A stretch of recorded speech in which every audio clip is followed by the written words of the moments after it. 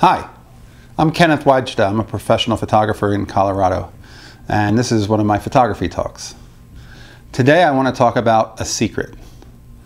There is a secret that pro photographers know that people who are looking to become pro or serious amateurs don't know, and it's important. The important thing to know is pros edit tightly, and pros show very little and what they show is all their best work. But amateurs show multiple things.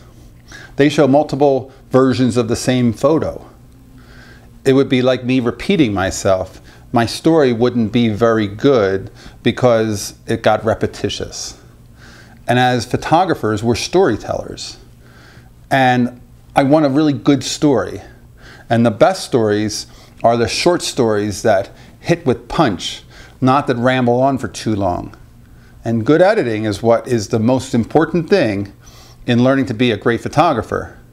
Because the less you show and the less the more great work you show, the more people see what your style is, but they're not bored by, yeah, I'm starting to see the same thing over and over. It's becoming very repeti repetitive.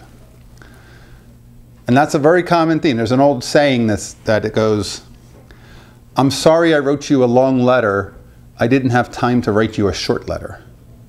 And I think there's something about that that I cling to as my own work, uh, as I edit my own work, because it's so important to be that smart with what doesn't need to be seen here, what can be cut out. Because if you cut out a little weakness, the other stuff becomes stronger. And I'm, I'm a believer of, you know, we tend to show too much. There was a time a few years ago, I was sitting at a pub somewhere in Pennsylvania.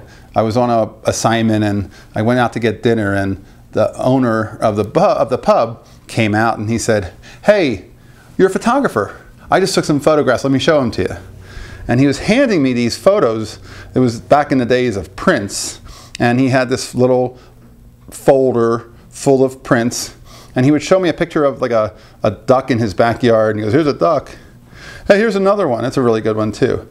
And they were doubles. He was, he was showing me printed doubles.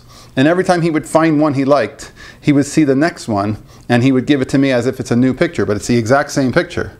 And I don't think he knew it, and I just let him continue to show me. But there was a story that became too repetitive for me. There wasn't good editing in that story. So, as a photographer, the tighter you can edit, the tighter we can edit, the better we can showcase our best work, and that's really important. All right, that's today's photography talk. Thanks for watching.